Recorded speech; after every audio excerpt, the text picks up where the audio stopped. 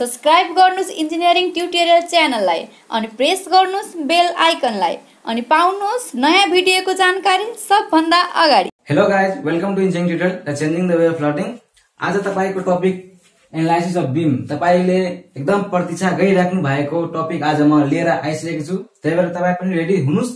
म सँगसँगै नोट बनाउँदै जानुहोस्। आजको भिडियो तपाईँले फुली कन्सेप्टको साथ प्र्याक्टिकलीको साथ फिगर हेरी हेरी म आज एक्सप्लेन गर्नु छु। त्यही भएर एकदम मजा आउनेछ तपाईँ विश्वास राख्नुहोस्। एनालाइसिस अफ बिममा यो खास यो सिभिल इन्जिनियरिङकै सब्जेक्ट हो तर यो सफ्टवेयर इलेक्ट्रिकल सबैले यो पढ्नुपर्ने एप्लाइड मेकानिक्स हो। अब बिम अब बिम भन्दाखेरि कस्तो कुन प्रकारको टपिक आउँछ त? त्यो पहिला बुझ्नु पर्यो। जस्तै अब हामीले विभिन्न क्षेत्रमा हामीले के गर्छौँ? कन्स्ट्रक्सनहरू गरेका हुन्छौँ। कन्स्ट्रक्सन किन गर्छौँ? घर बनाउनको लागि बिल्डिङहरू बनाउनको लागि ब्रिजहरू बनाउनको लागि अथवा जेसुकै पनि बनाउनको लागि। त्यो कन्स्ट्रक्सन किन गर्छौँ कि त्यसमा हामी राम्रोसँग बसोस् अथवा कुनै पनि लोड त्यहाँ थाम्नको लागि थाम्नको लागि हामीले खासमा के अरे स्ट्रक्चरहरू बनाएका हुन्छौँ। अब त्यो स्ट्रक्चरमा कस्तो कस्तो प्रकारको त हाम्रो लोड धान्ने मेम्बरहरू मेम्बरहरू हुन्छ त स्ट्रक्चर मेम्बरहरू हुन्छ त त्यही मध्येमा विभिन्न प्रकारको मेम्बरहरूमा एउटा हाम्रो बिम पनि पर्छ। त बिमको मेन काम के हो कि कुनै पनि स्ट्रक्चरलाई हामी अनुसार त्यसमा अड्याउनको लागि लोड अड्याउनको लागि प्रयोग गर्ने खास स्ट्रक्चर हो।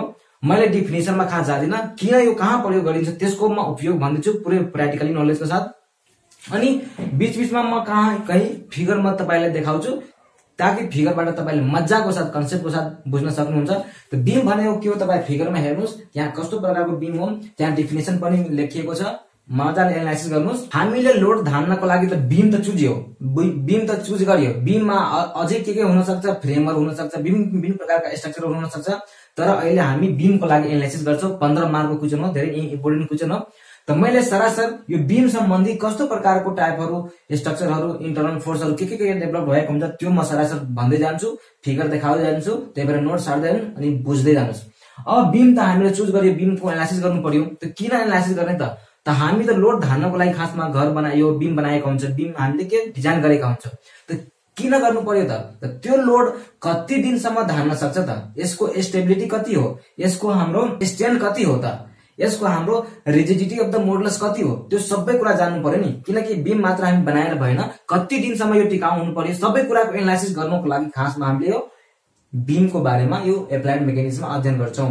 अब यो तपाईँ सिभिल इन्जिनियरिङ यदि तपाईँ माथितिर पढ्नुभयो भने बिमकै बारेमा धेरै कुराहरू धेरै सब्जेक्टहरू ओगटेको हुन्छ। त्यही भएर यसलाई बेसिक नलेज यहीँबाट सुरु हुन्छ एप्लाइड मेकानिक्समा। त्यही भएर ध्यानपूर्वक हेर्नुहोस्।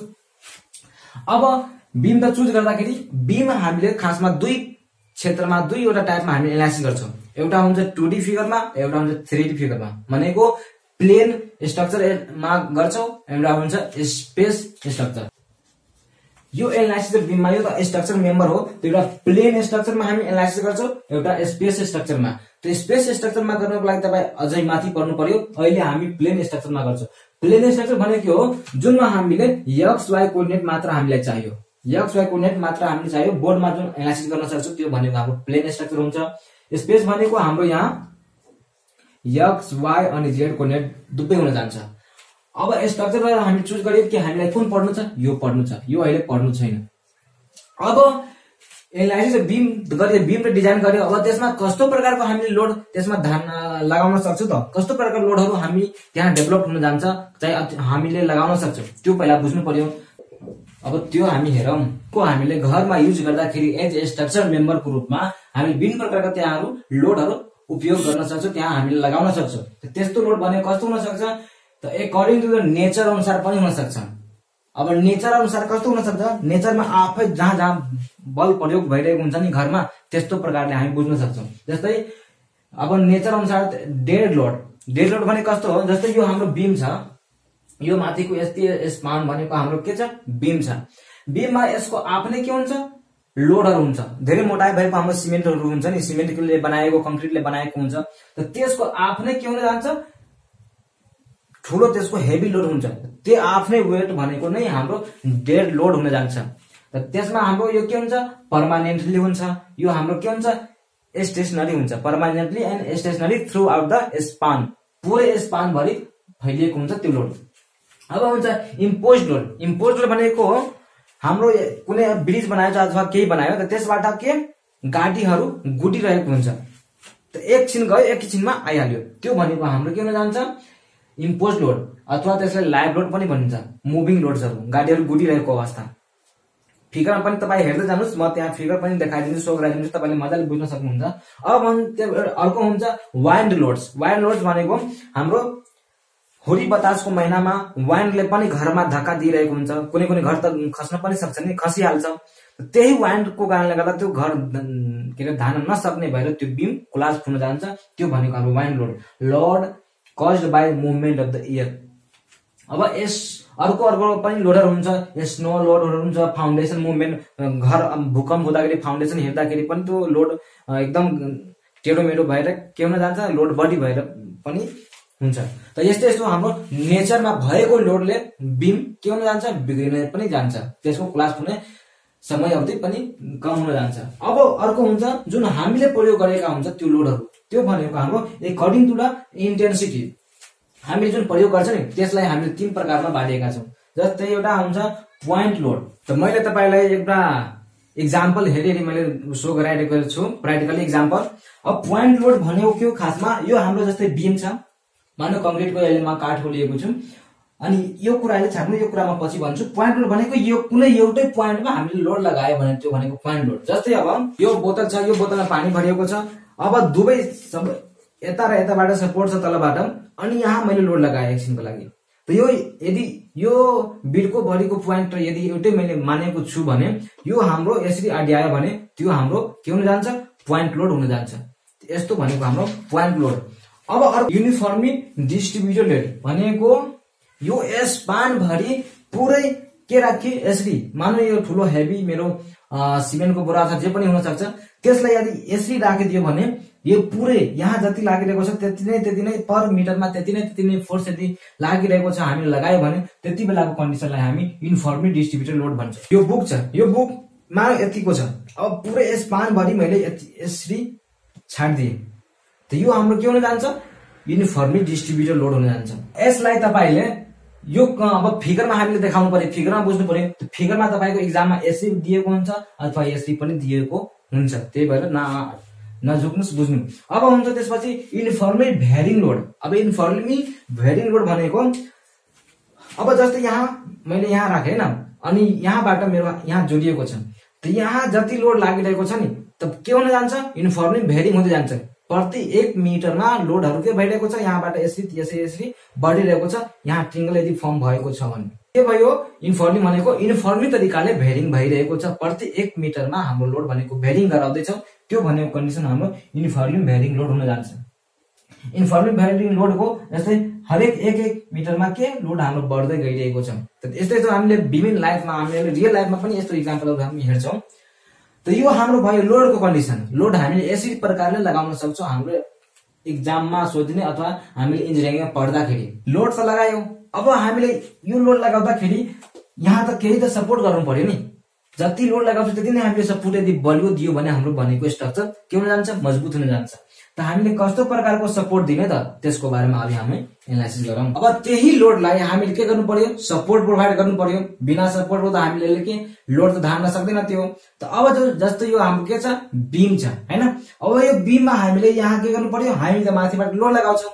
त तलबाट हामीले सपोर्ट राख्नु पर्यो यहाँबाट सपोर्ट राख्नु पर्यो। अनि त हाम्रो स्ट्रक्चर के जान्छ? एउटा स्ट्रक्चरको रूपमा खडा हुन जान्छ। त त्यो भनेको हाम्रो सपोर्ट अब कस्तो कस्तो हुन सक्छ त? त्यसको बारेमा हामीले बुझ्नु पर्यो त अहिले एक्सटर्नल सपोर्टको बारेमा? एक्सटर्नल सपोर्ट भनेको हामी जुन दिन्छौँ त्यो भनेको जुन हामी हेर्न सक्छौँ। त एउटा हुन्छ रोलर सपोर्ट रोलर सपोर्ट भनेको के हो? तपाईँले यो ओल्ड हाउसहरूमा प्रयोग हुन्छ खास ब्रिजहरू बनाएको हुन्छ नि। त ब्रिजको दुईवटा छेउमा हामीले कुनै कुनै ब्रिजमा रोलरको युज भएको हुन्छ। त यसले के गर्छ भनेको? Can resist only vertical load अब यहाँ हामीले जुन दियो नि रोलर सपोर्ट त यसले माथिबाट लगाएको फोर्सलाई मात्र यसले रेसिस्ट गर्न सक्छ। जस्तै यहाँ कुनै मानव यहाँ छ यहाँ छ हाम्रो के रोलर सपोर्ट त माथिबाट जुन फोर्स लगायो यसलाई मात्र सपोर्ट गर्न सक्छ यसलाई रेसिस्ट गर्न सक्छ। यदि यहाँबाट हामीले यसरी फोर्स लगायो भने यो उतातिर जान्छ फेरि। उताबाट लगायो भने यतातिर जान्छ। अनि यहाँबाट हाम्रो के हुन जान्छ? रोटेट पनि हुन जान्छ। त यसले भर्टिकललाई मात्र रेसिस्ट गर्छ रोटेसन अनि होरिजेन्टल फोर्सलाई सर्फेसमा गर्दैन।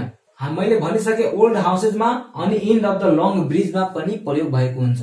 अब रोलारको लागि हाम्रो सिम्बल बनेको एक्जाममा यस्तो यस्तो क्वेसनहरूमा दिएको हुन्छ। तपाईँ फिगरमा पनि मजाले हेर्न सक्नुहुन्छ कि वास्तवमा हाम्रो कहाँ कहाँ दैनिक लाइफमा युज हुन सक्छ त हाम्रो रोलार सपोर्ट अब यसपछि आउँछ हाम्रो हिन्ज सपोर्ट अब हिन्ज सपोर्ट भनेको हो जस्तै यो हाम्रो बिम छ यसमा यदि मैले यहाँ हिन्ज नामको सपोर्ट यदि मैले प्रोभाइड गरेको छु यसको फिगर यस्तो हुन्छ। यदि मैले हिन्ज नामको सपोर्ट प्रोभाइड गरेँ भने नि यो भनेको रोटेट गर्न सक्छ। यहाँ भनेको रोटेट गर्न सक्छ।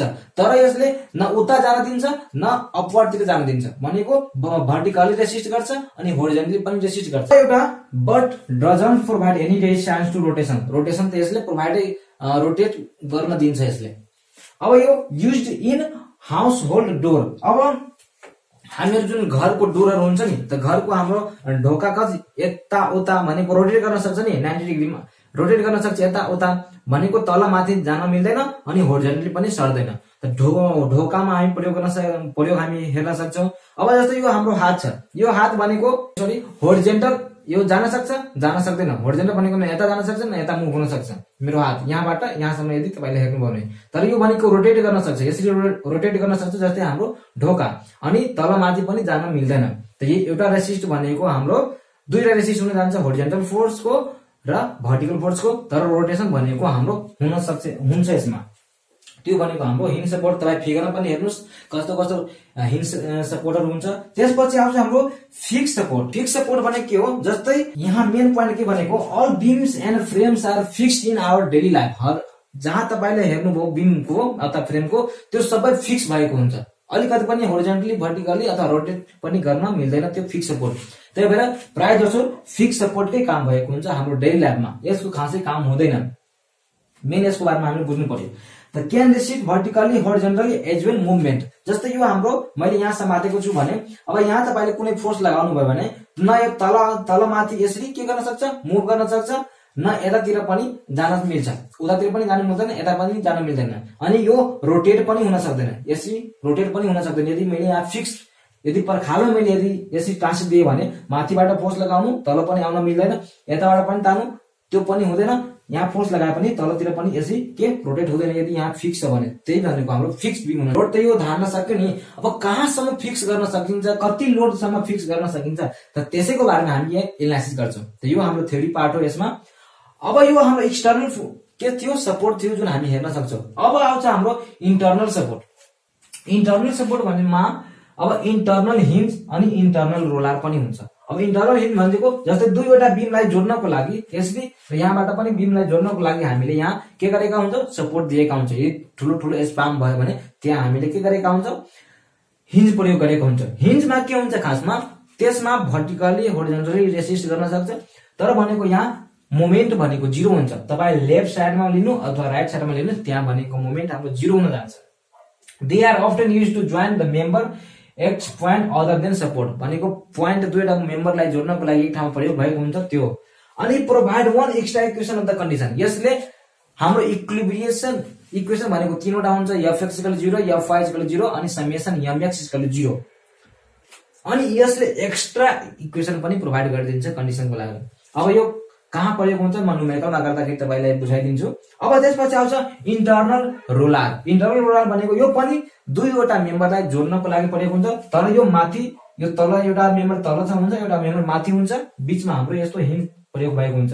They are also used to join the member but provide two extra equation of the condition यसले दुईवटा इक्वेसनलाई प्रोभाइड गरेको हुन्छ? भने यसले एउटा इक्वेसन प्रोभाइड गरेको हुन्छ। तपाईँ फिगरमा हेर्नुहोस् कस्तो कस्तो खालको हुन्छ। अब यसपछि हामी यो हाम्रो के भयो? सपोर्ट त भयो। अब सपोर्ट भइसकेपछि कस्तो प्रकारको स्ट्रक्चरहरू स्टेबिलिटी गर्नु सक्छ त? कस्तो प्रकारको इक्वेसनहरू हामीले राख्दाखेरि कहाँसम्म यसले स्टेबिलिटी हामीले बनाउन सक्छौँ। कुन इक्वेसन यसलाई सोल्भ गर्न सक्छौँ त्यसको बारेमा अब हामी हेरौँ। सबभन्दा पहिला अब डिटर्मिनेन्सी कुरा आउँछ। डिटर्मिनेन्सी भनेको अथवा डिटर्मिनेन्ट स्ट्रक्चर भनेको त्यो स्ट्रक्चर हो जुन हामी खास एप्लाइड मेकानिक्समा अथवा तपाईँ इन्जिनियरिङमा सिभिल इन्जिनियरिङमा पढ्दाखेरि स्ट्रक्चर फर्स्टमा पढ्नुहुन्छ।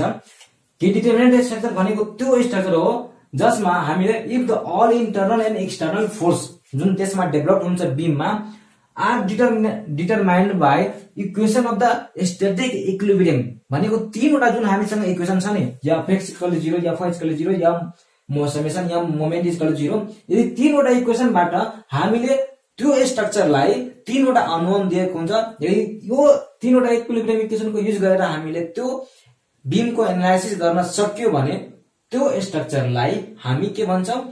त्यो डिटर्मिनेन्ट स्ट्रक्चर हो। यदि गरेन भने त्यो हाम्रो इनडिटर्मिनेन्ट स्ट्रक्चर हुन जान्छ। तर तपाईँहरूको लागि यही तिनवटा इक्वेसनबाट हामीले सोल्भ गर्नुपर्ने हुन्छ एप्लाइड मेकानिक्समा अथवा स्ट्रक्चर फर्स्टमा त्यो डिटर्मिनेन्ट स्ट्रक्चर भएको अब इनडिटर्मिनेन्टको कुरा म पछि स्ट्रक्चर पठाउँदाखेरि म गर्छु। त्यो डिटर्मिनेन्ट कुरा भयो। अब कुनै पनि स्ट्रक्चर स्टेबल हुनको लागि यहाँ हेर्नुहोस् to become a structure stable there must be either fixed हुनु पर्यो फिक्स सपोर्ट हुनु पर्यो अथवा combination of the roller and hinge हुनु पर्यो। फिक्स भनेको यस्तो तपाईँलाई एउटा मात्र यस्तो दियो भने त्यो पनि हाम्रो एउटा नुमेरिकल हुन जान्छ तिनवटा यसमा के हुन जान्छ? रोटेसन अनि एउटा यो अनि एउटा यो। तिनवटा अननोन हाम्रो रिएक्सन हुन जान्छ। अथवा यो दिन सक्छ अथवा हामीलाई के दिन सक्छ? यस्तो एक ठाउँमा हिँड्छ अथवा अर्को ठाउँमा हामीलाई रोलार दिन सक्छ। यो यहाँ पनि हाम्रो एउटा यो तिनवटा यसमा दुईवटा रेसिस्ट गर्न सक्छ। यसमा एउटा मात्र रेसिस्ट गर्न सक्छ। यो र यो मिलेर तिनवटा भयो तिनवटा अननोन रिएक्सन हुनु पर्यो जुन एप्लाइड मेकानिक्समा हामीले एनालाइसिस गर्छ। अनि त्यो स्ट्रक्चर तिनवटा अननोन छ भने हाम्रो स्ट्रक्चर भनेको स्टेबल हो भनेर बुझ्नु पर्यो नत्र तपाईँलाई फिगर दियो भने कहीँ तपाईँले यदि इक्जाम दिँदाखेरि तिनवटा रिएक्सन छैन भने त्यहाँ नोट स्टेबल भनेर लेख्नुहोस्। त्यो स्टेबल भने त्यो स्ट्रक्चर हुनै सक्दैन।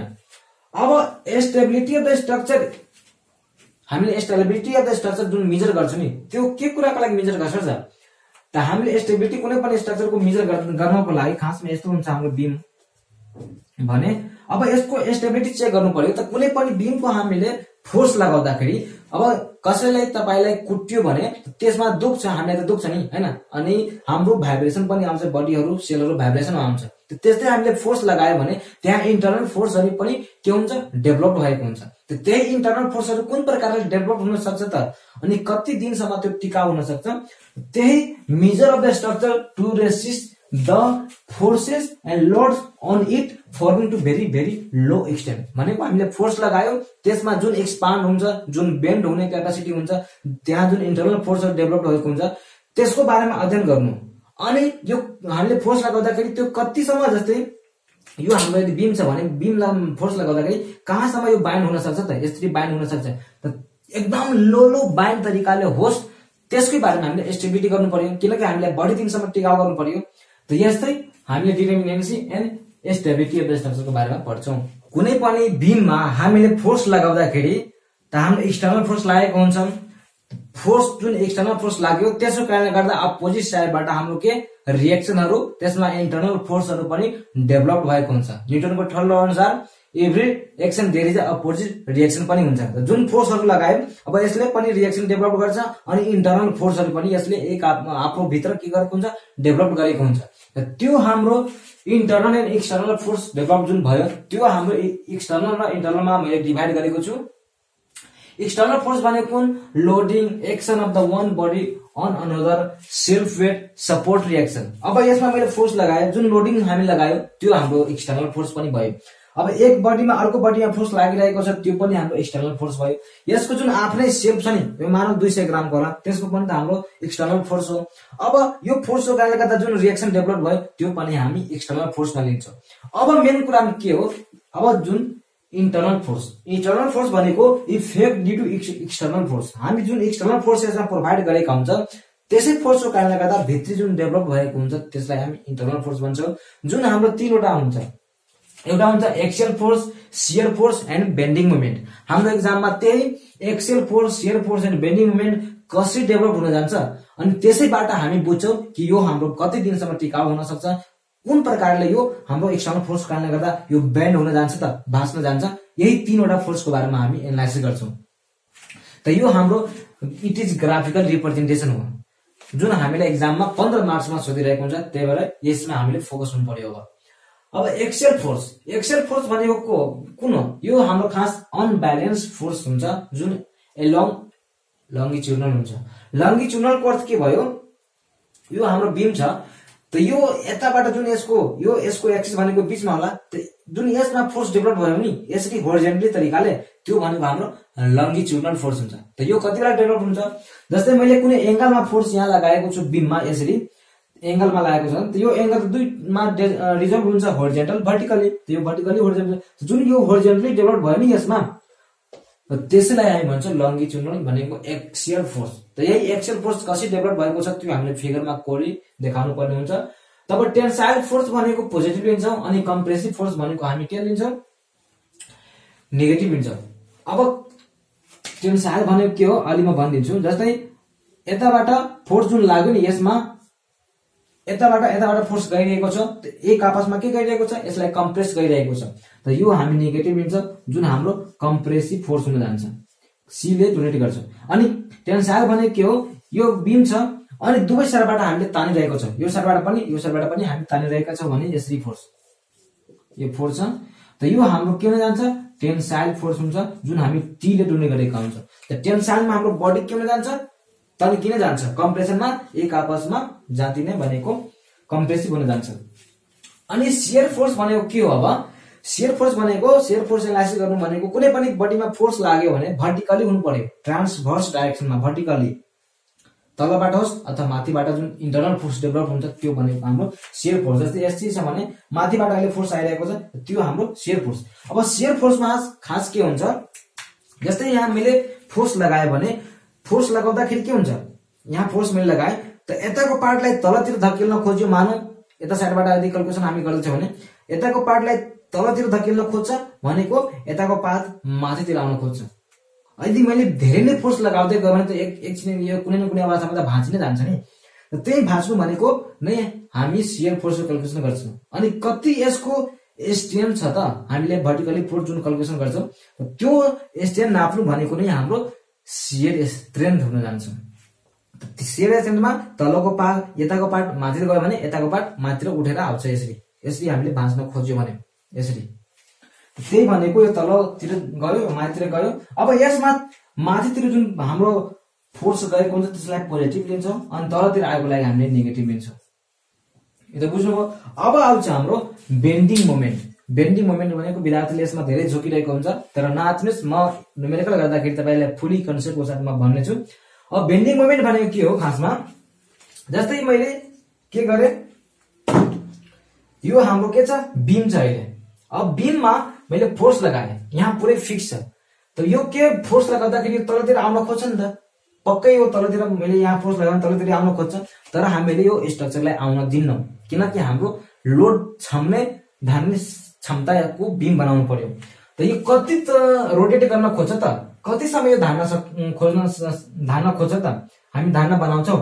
त्यही क्यालकुलेसन गर्नुको नै बिम बेन्डिङ मोमेन्ट डायग्राम कोर्नु हो। जस्तै अब यो हाम्रो ओभर ह्याङ्गिङ के अरे फिक्स बिममा थियो। अब यो हाम्रो सिम्पली सपोर्टेड बिममा बिचमा पनि त हाम्रो के हुन जान्छ? फोर्स लाग्छ। अब यहाँबाट कति रोटेट गर्न खोज्छ त यसले? तर हामी रोटेट गर्न दिँदैनौँ। त्यही क्यालकुलेसन गर्नु भनेको नै बेन्डिङ मोमेन्ट हुन्छ। बेन्डिङ मोमेन्ट जस्तै अब यहाँबाट तपाईँ फोर्स लगाउनु भयो धेरै त यो कुन तरिकाले बेन्ड हुन्छ त? त यहाँ बडी बडी हुँदै हुँदै यसरी यसरी तरिकाले के हुन जान्छ? यो बेन्ड हुन जान्छ यसरी। यही त्यो त्यहाँ भयो। अब यहाँ गर्दाखेरि बिचमा फोर्स लाग्यो भने बिचमा फोर्स दुवै साइडबाट सपोर्ट छ भने बिचमा लगायो भने यो पार्ट के हुन्छ? यो पार्ट भनेको तलतिर बेन्ड हुन जान्छ। यसरी बेन्ड हुन जान्छ। अब त्यही बेन्ड भनेको हाम्रो दुई तरिकाबाट हुन सक्छ एउटा तलतिर पनि बेन्ड हुन जान्छ एउटा माथितिर पनि बेन्ड हुन सक्छ। माथिबाट फोर्स लागेको छ भने यो पार्ट बडी खुम्चिन जान्छ यो पार्ट अब तलबाट फोर्स लागेको छ यो पार्ट माथि उठिन जान्छ। अब यहाँ हेर्दाखेरि यहाँ त यो बडीलाई एकदम कम्प्रेस गरिएको छ। एक आपसमा यहाँको पार्टले यहाँको पार्टले एक आपसमा जोडिएको छ। तर तलको पार्टलाई यो पार्टलाई हेर्दाखेरि एक यो पार्ट एकदम तन्किएको छ। जुन तन्किएको छ त्यो हाम्रो टेन्साइल फोर्स हुन जान्छ। जुन एक एक आपसमा जोडिएको छ खुम्चिन जान्छ त्यो भनेको कम्प्रेसिभ फोर्स हुन जान्छ। त यसलाई हामी सेगिङ डायग्राम पनि भन्छौँ। सेगिङ डायग्रामले खास पोजिटिभ लिन्छ न्युमेरिकल गर्दाखेरि। अब हगिङ भनेको के हुनु कि हामीले तलबाट फोर्स दियो। तलबाट फोर्स गर्दाखेरि माथितिर यो तलबाट फोर्स गऱ्यो यो यसरी तरिकाले के हुन जान्छ? बेन्ड हुन जान्छ। त यहाँ जुन धेरै खुम के भएको छ तन्किएको छ त यो हाम्रो टेन्साइल पार्ट हुन जान्छ। अनि यो तलको पार्ट सी वाला छ नि यो पार्ट यो। यो खुम्चिएको छ यो हाम्रो कम्प्रेसिभ फोर्स हुन जान्छ। अब यसरी जुन पार्ट बाइन्ड भएको छ त्यसलाई हामी हगिङ भन्छौँ जसलाई हामी नेगेटिभ लिन्छौँ। अब यसपछिको कस्तो प्रकारको टाइप्स अफ द बिम हुन हुन छ त त्यसको बारेमा अब हामी एनालाइसिस गरौँ। स्ट्रक्चर बनाउँदाखेरि अथवा कुनै पनि घर बनाउँदाखेरि अथवा ब्रिज बनाउँदाखेरि कुन ठाउँमा कुन बिम राख्दाखेरि कस्तो टाइपको बिम राख्दाखेरि हाम्रो स्ट्रक्चर सेफ हुन जान्छ बढी दिनसम्म टिकाउ हुन सक्छ कस्तो टाइपको बिमहरू हुन्छ त्यो हामी अब हामी हेरौँ। त सबभन्दा पहिला according to the support condition support provide गर्दाखेरि कस्तो टाइपको सपोर्ट राख्छौ कि त्यसको नाम फरक हुन्छ त्यो बिमको त्यसको बारेमा। त simply supported beam simply supported बिमको अर्थ हुन्छ कि कुनै पनि बिम जस्तै यो तपाईँ एउटा बिमको रूप लिनुहोस् त्यो बिमको छेउछेउमा दुवै इन्डमा आदि हामीले सपोर्ट प्रोभाइड गरेका छौँ। यसै सपोर्ट प्रोभाइड गरेका छौँ भने यहाँ र यहाँ त्यसो टाइपको बिम हाम्रो सिम्पली सेपरेट बिम हुन्छ। र यो एउटा साइडमा हिन्ज हुनु पर्यो अर्को साइडमा हाम्रो रोलर हुनु पर्यो। किनकि हाम्रो तिनवटा इक्विलिब्रियम कन्डिसनले मात्र सोल्भ छ फेरि यो कुरा याद राख्नुहोस्। कुनै पनि बिम यदि हामी यहाँ पढिरहेका छौँ त्यहाँ तिनवटा मात्र अननोन रिएक्सन डेभलप हुनुपर्छ। त एउटा हाम्रो सिम्पली सेपरेटिभ बिम अब यहाँ हेर्दाखेरि यो पनि सिम्पली सेपरेटिभ बिम यो पनि सिम्पली सेपरेटिभ बिम तर हाम्रो स्टेबल कुन छ त्यो हेर्नु पर्यो अब यो डिटर्मिनेन्ट त छ हामीले तिनवटा इक्वेसन त सोल्भ गर्न सक्छ अनि स्टेबल पनि छ। यो हामीले यसमा लोड राख्दाखेरि यो धान्न सक्छ। तर यसमा हामीले हेर्दाखेरि यो हाम्रो डिटर्मिनेन्ट त छ यो डिटर्मिनेन्ट त छ तर अनस्टेबल छ। भनेको अनस्टेबल कसरी छ? कि यसमा फोर्स राख्दाखेरि दुवै होरिजन्टली उता मुभ भइदिन्छ यता पनि मुभ भइदिन्छ। यहाँ रोलार छ। भनेको यो अनस्टेबल छ। फोर्स राख्दाखेरि यो धान्न सक्दैन। त्यो भनेको यो यस्तो प्रकारको फिगर तपाईँलाई इक्जाममा दिँदैन याद राख्नुहोस्। दियो भने यसलाई सोल्भ नगर्ने हो। त्यसपछि क्यान्टिलेभर बिम क्यान्टिलेभर बिम भनेको जस्तै यो तपाईँ बिम हेरिराख्नु भएको छ मैले एक साइडमा हातले यसलाई के गरेँ? फिक्स गरेँ। फिक्स गरिसकेपछि यो यहाँबाट यहाँसम्म तपाईँले के गर्न सक्नुहुन्छ? पुरै फोर्स एप्लाई गर्न सक्नुहुन्छ। यसमा पनि तिनवटा के हुन जान्छ? रिएक्सन हुन जान्छ। रोटेट गर्न सक्छ गर्न सक्दैन। यहाँ भर्टिकल रिएक्सन डेभलप हुन्छ अनि होरिजेन्टल रिएक्सन पनि डेभलप हुन्छ। एउटा फ्री फ्री इन हुन्छ एउटा फिक्स इन हुन्छ। अब अर्को टाइपको बिम भनेको overhanging beam overhanging beam भनेको सिम्पली सपोर्टेड बिमलाई हामीले यतापट्टि यतापट्टि हामीले मानौँ न यो पुरै बिम छ भने यहाँ सपोर्ट यहाँ सपोर्ट राखेछौँ। यो पार्ट यो पार्ट हाम्रो के छ? ओभर ह्याङ्गिङ छ। ह्याङ गरिरहेको छ। त्यस्तो बिमलाई हामी ओभर ह्याङ्गिङ बिम भन्छौँ फिगरमा तपाईँ हेर्दै जानुहोस् म तपाईँलाई देखाउँदै जान्छु। रियल टाइपको फिगर हेर्नुहोस् त्यहाँ प्र्याक्टिकली अब यसमा के हुन्छ बोथ साइड्स ह्याङ्गिङ हुन्छ बियोन्ड द सपोर्ट सपोर्ट भन्दा बाहिर यो बिमहरू गएको हुन्छ। अब हुन्छ कन्टिन्युस बिम कन्टिन्युस बिम भनेको कुन बिम हो? कि त्यसमा लगातार हामीले दुईवटा रिएक्सन भन्दा बढी हामीले यदि सपोर्ट प्रोभाइड गरेका छौँ भने त्यसलाई हामी भन्छौँ ओभर कन्टिन्युस बिम जस्तै यहाँ यहाँ यहाँ तिनवटा हाम्रो के छ? सपोर्टहरू छ तिनवटा सपोर्ट भन्दा बढी दुईवटा सपोर्ट भन्दा बढी यदि हामीले सपोर्ट दिएका छौँ त्यो भनेको कन्टिन्युस बिम हुन्छ। यस्तो टाइपको पनि नुमेरिकल आउन सक्छ। अब रिजिडली फिक्स बिम भनेको दुवै छेउबाट के हुन्छ? फिक्स भएको हुन्छ। तर यस्तो टाइपको फ्री नुमेरिकल त हामीहरूलाई आउँदैन। फिक्समा एप्लाइडमा आउँदैन। Fix support at both ends हुन्छ। मात्र जानकारी दिन खोजेको छु। तपाईँलाई स्ट्रक्चर पढ्दाखेरि सबै त्यहाँ पढाउनु त्यहाँ सरले पढाउनु हुन्न त्यही भएर अहिले म भनिरहेको छु बेसिक नलेजहरू हो अनि beam with internal roller and hinge अब के हुन्छ? बिचमा हाम्रो के हुन्छ? इन्टरनल दुईटा मेम्बरलाई जोड्नको लागि इन्टरनल हिन्जको प्रोभाइड गरिएको हुन्छ। यस्तो टाइपको नुमेरिकल आउन सक्छ हाम्रो इक्जाममा त यहाँ जुन इन्टरनल हिन्ज जुन सपोर्ट गरे प्रोभाइड गरेको छ नि त यसको पॉइन्टमा लेफ्ट साइडमा तपाईँ यदि बेन्डिङ मोमेन्ट क्यालकुलेसन गर्नुभयो भने के हुन्छ? जिरो हुन जान्छ। त्यस्तै नै यदि तपाईँले राइट साइडमा बेन्डिङ मोमेन्ट क्यालकुलेसन गर्नुभयो भने जिरै नै आउँछ यस्तो प्रकारको नुमेरिकल म गराउँछु। यो धेरै नै इम्पोर्टेन्ट हुन्छ। यो भनेको डिटर्मिनेन्ट एन्ड स्टेबल पनि हो। त यति हाम्रो एनालाइसिस द बिममा एप्लाइड मेकानिक्सको लागि पढ्नको लागि अथवा स्ट्रक्चर फर्स्ट पनि पढ्नको लागि हाम्रो यति थ्योरीहरू रहेको छ। यो थ्योरी मजाले तपाईँले बुझ्नुभयो होला। अब यसपछिको भिडियोमा म फुली कन्सेप्टको साथ फुली हरेक प्रकारका क्वेसनहरू त्यहाँ फोर्सहरू लागेको हुन्छ इक्जाममा सोधै क्वेसनहरू हुन्छ टिपिकल क्वेसनहरू त्यो म लिएर आउनेछु। त्यो पनि भिडियो लामो हुन्छ यो पनि भिडियो नै लामो भयो। तर मजाले कन्सेप्ट लिएर बुझ्नुभयो होला जस्तो मलाई विश्वास छ। अब अर्को भिडियोमा हामी भेटघाट गरौँ तबसम्मको लागि तपाईँ प्लेलिस्टमा जानुहोस्। मैले धेरै नै सब्जेक्टको भिडियोहरू अपलोड गरिसकेको छु। त्यहाँ पढ्नुहोस् आफ्नो साथी दाईहरूलाई सिनियरहरूलाई सेयर गर्नुहोस् ताकि उनीहरूले पनि यो भिडियोबाट फाइदा होस् अनि एक्जाममा राम्रोसँग उत्तीर्ण गर्न पाओस्। Thank you for watching bye bye